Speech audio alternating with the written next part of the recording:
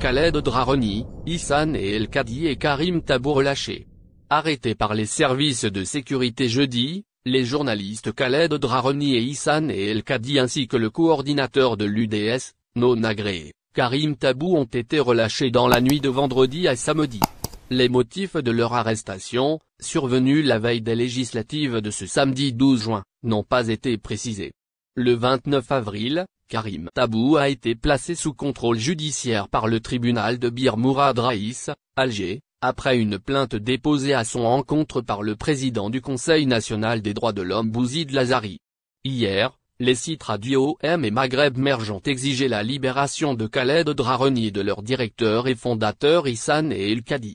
Le 18 mai, Issan et El Kadi a été placé sous contrôle judiciaire par le juge d'instruction du tribunal de Sidi Mamed et confirmé le 6 juin par la chambre d'accusation de la cour d'Alger, ont rappelé les deux quotidiens électroniques.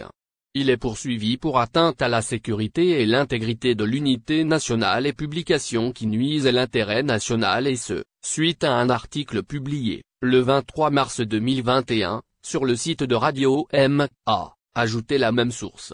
Pour Khaled Draroni, il a été libéré provisoirement le 19 février dernier, dans la foulée des décisions présidentielles d'élargissement des détenus du Irak pour une soixantaine de personnes.